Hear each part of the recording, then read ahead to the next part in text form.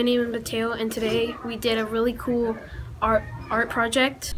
Hi, my name is Jasmine, and the art project we did today was learning about cubism. As soon as my nephew told me he did something really, really fun in the computer lab, I was really excited.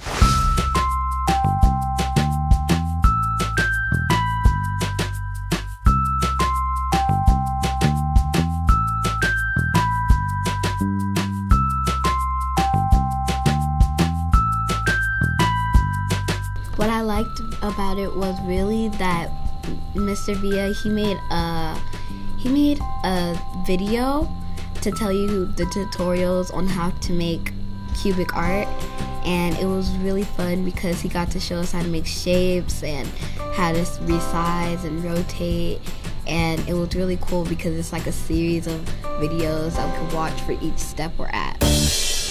I think it's a critical skill, number one, because you know we're, we're teaching kids for jobs we don't even know what they're going to be yet. 21st century learning skills, technology is so important. Not to mention the fact that we have so many of our students that can excel in the arts from a creative standpoint. So to be able to utilize their skills uh, on a computer and design things, um, I just think it's critical, absolutely critical. My name is Tamoa, and what I liked about the Google drawing is that we got to make our own cubism character and we got to use a lot of different tools. And from this assignment, I really learned a lot that can help me in the future. I'd like to say for you to really check out Google Classrooms because you never know what you might find. And it's important for kids to learn how to use computers. And maybe if you want to do arts, it's important for you to know how to use Google Drawing.